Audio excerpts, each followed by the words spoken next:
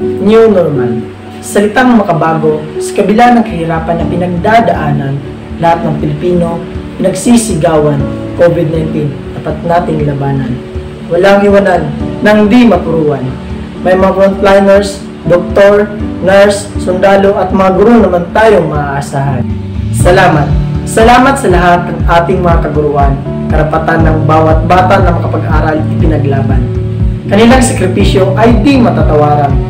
Hindi ininda bawat sakit sa katawan, may bahagi lang ang edukasyon sa aming mga kabataan. Sa New Normal, na meron tayo nitong kasalukuyan, rentang module, ihatid sa mga kabayan, may pa-GC, pa-Google Meet, at iba't ibang aplikasyon na isipan. Para edukasyon ng kabataan ay di makaligtaan, may pagpatuloy lamang ang mga nasimulan. Pero kayo ang isa sa mga dahilan kung bakit mararating namin ang inaasam-asam sa buhay na nais makamit. Kami sa inyong gabay nais laging kakapit. Ang inyong mga kalinga at aral lagi namin bitbit.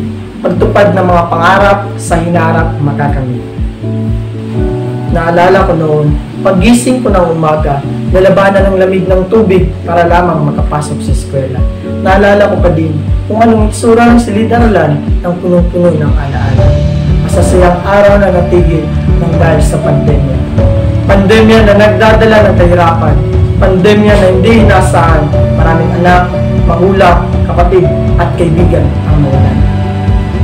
Kabataan, ang sabi pag-asa ng lipunan, dapat nating sundin ang sinasabi ng ating pamalaan para hindi nadadami ang mapupuruan ng sakit na dulot ng mga kabiguan. Basta lagi nating tatandaan na Diyos tayong nagmamahal na nasa kaitaasan at napoprotekta sa anumang kapamakan na sa ating mga laban ay di tayo pababayaan at makakaahon sa kahirapan na siya nating pinagdaanan. Siya rin ang gabay natin lagi patungo sa walang humpay na kaligtasan.